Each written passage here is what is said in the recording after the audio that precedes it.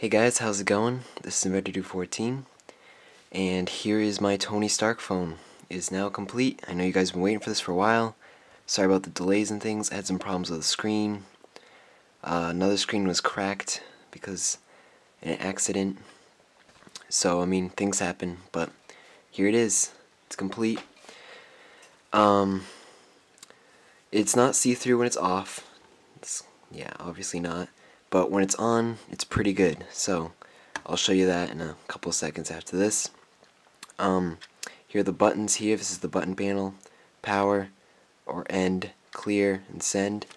Um, I'm still working on the overlay for those, but I thought I'd still show you guys because, I mean, the screen part's done. That's the main part. And the body's done here. I mean, I did uh, electrical tape, which works okay. It's the best I have. And then that's the charging port, so it stays charged up. Battery's like in here, in this area. Hard to see it. Uh, this is how it started out. And this is it. Starkified, I guess you'd call it.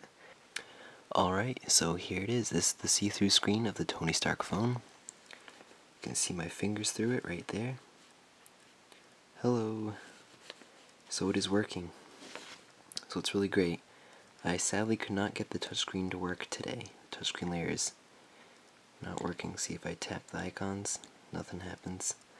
Sorry about that. It only works about half the time, but you can see that the screen is working on the phone here. So that's it. Uh, it took many weeks of hard work, but I think it was well worth it.